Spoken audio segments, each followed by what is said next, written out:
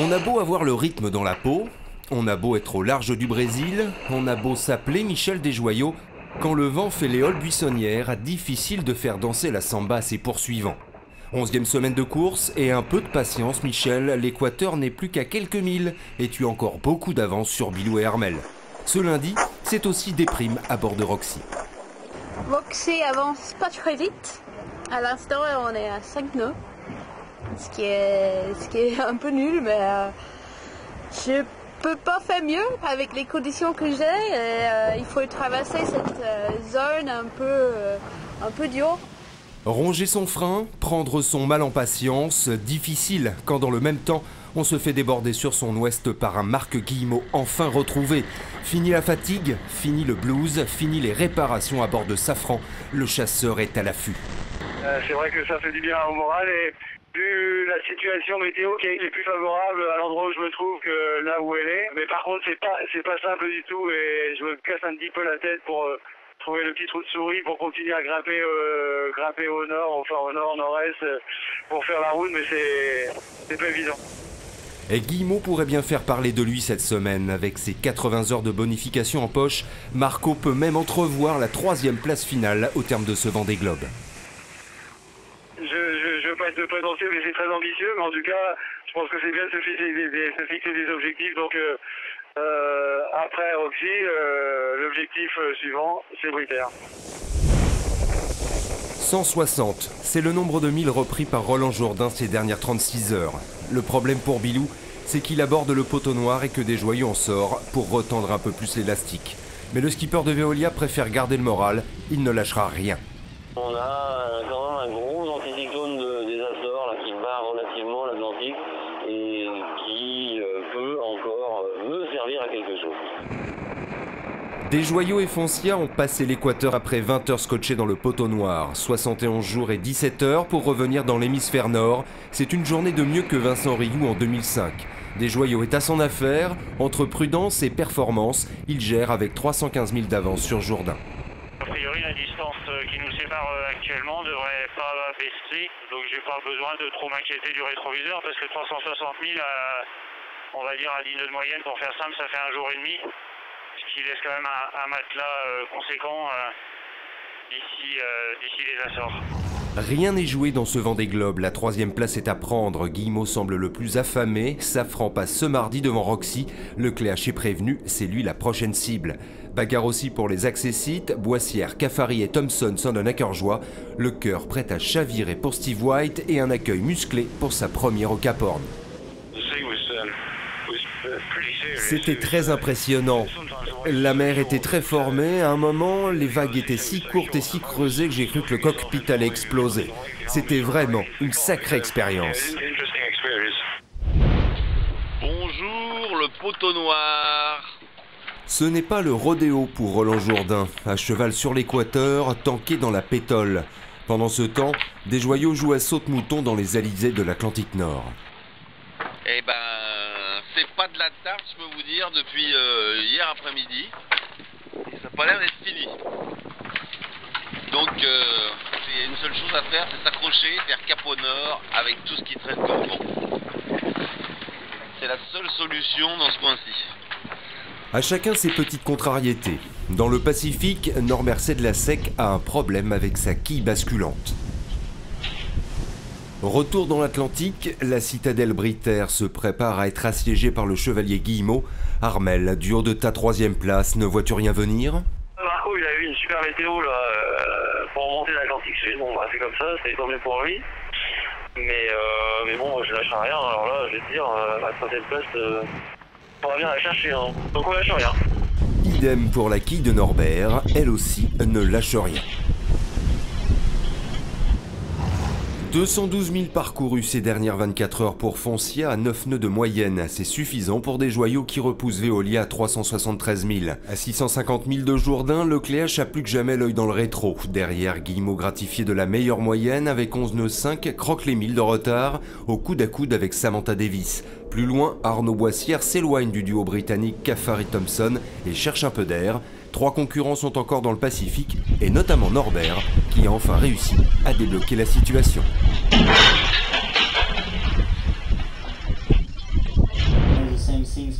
Grand animateur du Vendée Globe, Sébastien Josse était ce jeudi à Paris, tout simplement l'un des animateurs de la vacation.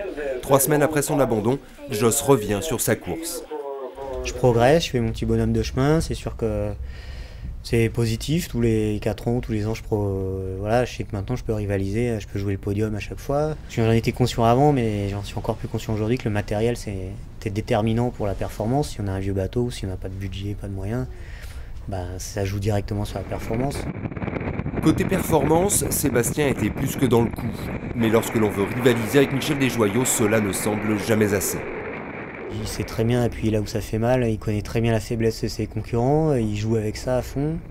On sait qu'il est fort, mais on sait qu'il attaque aussi, parce que pour, euh, pour faire des moyennes à 20 nœuds, euh, c'est pas. Même si ce qui, ce qui laisse transparaître, c'est que c'est facile, c'est sûr que c'est pas facile. Maintenant, il joue, il joue avec ça et il le fait très bien. je pense qu'il y a plein de choses qu'il nous a pas dit, qu'il dira peut-être après, qu'il dira peut-être même peut-être pas pour justement garder le mythe. Joss a tapé juste, il connaît bien son déjoyau et c'est l'info du jour. Le skipper de Foncia a bien failli abandonner le jour de Noël. Mais trop occupé à réveillonner, personne n'a remarqué Foncia ralenti pendant plusieurs heures. C'était au sud de la Nouvelle-Zélande. Quand on fait des, coups de frein à main, euh, vous nous dites, vous nous demandez ce qui s'est passé. Euh, en général, on répond, on, on en touche comme ça. Euh, et là, personne n'a relevé, mais j'ai fait une nuit où il y a un flot, je suis à 6 nœuds quand j'aurais dû être à 12.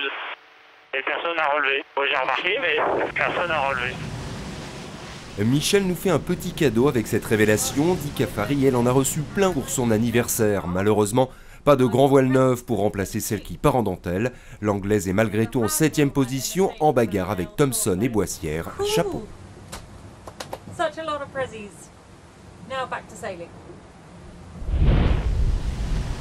Le père des joyaux n'a pas encore dit la messe, mais l'on prépare déjà l'office. 540 000 d'avance, sur le papier et dans les têtes, les jeux sont faits. Sur la mer, rien n'est encore joué. Mais quand on lève les yeux au ciel, on voit que Foncia navigue sous une bonne étoile. Michel Desjoyaux a des conditions qui lui permettent de creuser l'écart puisque l'Alizé reste fort tout en partant légèrement à droite, donc il s'oriente plein est et le, bateau est donc moins serré au vent, ce qui lui permet d'accélérer tout en bénéficiant d'une mer un peu moins formée. Donc tout est réuni pour que ça aille un peu plus vite pour l'homme de tête. Roland Jourdain aura du mal à revenir, mais sa deuxième place semble assurée. Nous voilà revenus dans l'hémisphère nord, contre le vent dans l'Alizé ça tape, ça euh, ça vibre, mais euh, qu'est-ce que ça va être bon quand ça va s'arrêter? De son côté, Armel Lecléache défend sa troisième position. Le skipper de Britair a remis quelques milles entre lui et Guillemot pour porter l'écart à 950 000. L'enjeu pour Armel, arriver au Sable d'Olonne avec au moins 70 heures d'avance sur Marco. J'ai penché mon chronomètre euh, quand j'aurai franchi l'équateur et récupéré la visée, et puis, et puis on verra combien de temps il passera après moi. Et là, on aura une idée un peu plus précise de l'écart réel, parce que là, euh, j'ai encore poteau noir à franchir, donc ça va être assez complexe. Le poteau noir à franchir pour le Cléache et des puits d'or noir à éviter pour Guillemot. À vouloir longer les côtes brésiliennes, Safran se retrouve à slalomer entre des plateformes pétrolières avec en prime quelques pêcheurs mécontents. Cette nuit, il a fallu jongler un petit peu entre les différentes plateformes et puis euh, il y a un autre problème à gérer en plus du fait qu'il n'y ait pas de vent, euh, les lignes dérivantes des pêcheurs. Donc c'est des lignes qui laissent qui font à peu près 3-4 000 de long et qu'il est impossible de franchir avec un bout de flottant euh, et des flotteurs espacés tous les 10 mètres. Donc je m'en suis pris une, j'ai été poursuivi par un pêcheur mais j'allais plus vite heureusement parce qu'ils n'avaient pas l'air euh.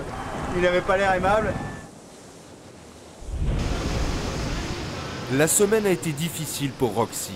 Peu de vent et Marc Guillemot qui en profite pour chipper à l'anglaise la quatrième place, sans parler du duo Cafari-Thompson qui remonte à toute allure sur leurs compatriotes. C'est super frustrant de, de voir euh, combien de milles euh, j'ai fallu depuis six jours. C'est ça la, la c'est pour ça qu'on adore et on est accro à, la course et, tout ce qui, les moments mondiaux et les moments qui, qui vont mieux. Roxy a repris un peu d'allure à bord de Safran. Marco s'emploie pour améliorer sa moyenne. Seulement 5 nœuds 5 ces dernières heures. Le plus rapide, c'est le discret Brian Thompson. Le puissant Bahrain Team Pindar file à plus de 16 nœuds. Thompson a repris 650 000 à Roxy en une semaine. Tout va bien sur Bahrain Team Pindar. Je prends du bon temps. j'ai une bonne vitesse. et Nous avons encore 6 ou 7 heures avant d'arriver dans les calmes au large de Rio. Dans le même rythme, et malgré une grand voile qui part en lambeaux, Dick Cafari remonte également sur Sam Davis. C'est bon la vie pour les jeunes et le petit. Et la navigatrice de Vendée Globe aussi. Hmm. La vie, ça va aussi pour Dinelli. Perdu dans un monde trop pacifique, bord à bord avec Norbert Sedlasek, Raphaël retrouve du vent et de l'allant. Eh ben, ça, change positivement parce que ça faisait euh, une dizaine de jours là, depuis le début du Pacifique. euh, on a un énorme anticyclone, enfin c'est une espèce de, de bulle énorme et euh, qui nous a bien retardé. Et puis là, ça y est, c'est hier soir, c'est rentré, donc euh, c'est 15 sur la prochaine porte. 9250 000 encore à parcourir pour Dinelli dans une semaine. Le premier sera au Sable d'Olonne. Raphaël et Norbert, n'en auront toujours pas fini avec le Pacifique. Voilà, de retour dans l'hémisphère nord après 63 jours passés euh, dans l'hémisphère sud. Voilà, donc ça fait plaisir de retrouver euh, l'Atlantique Nord. Le skipper de Britair s'extirpe enfin du poteau noir. Toujours en troisième position, Armel Lecléache a réussi cette semaine à contenir les assauts de Marc Guillemot. Surtout ce qui est bien, le vent est dans le bon sens. Euh, voilà, on a, on a du vent de nord-est euh, qui commence à fraîchir un peu, donc euh, voilà, on commence à réduire un peu la toile et puis surtout il commence à avoir la mer, donc ça commence à taper un peu. Par contre, c'est sûr que le Brésil, bon, c'était pas forcément un grand souvenir. c'était long et pénible un peu quand même. Du côté brésilien et notamment des pêcheurs, c'est Marc Guillemot que l'on a trouvé pénible. Slalom spécial et remontée de bretelles cette semaine pour Marco, mais ça se termine plutôt bien. J'ai pêcheurs hier. et Hier, euh, en fin de journée, là, j'ai dû faire euh, deux, deux emballages justement pour éviter des, lignes parce qu'il y a les pêcheurs qui surveillent. Ils sont venus me voir et euh, ils m'ont indiqué de quel côté passer parce que effectivement, euh, moi, je m'engageais de l'autre côté. Et si j'avais été le cas, j'étais parti pour faire euh, encore deux emballages à suivre pour, euh, passer leur ligne qui fait 3-4 000 de long. Le programme des prochains jours pour Safran et Guillemot, le franchissement du poteau noir. Quant à Michel Desjoyaux, le plus dur est à venir avec une dernière ligne droite en forme de grande courbe s'incurvant vers l'est et une arrivée prévue le week-end prochain au Sable d'Olonne.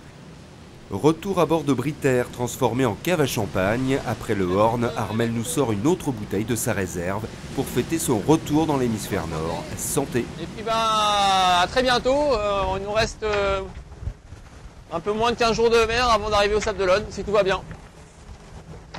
Allez, Kenavo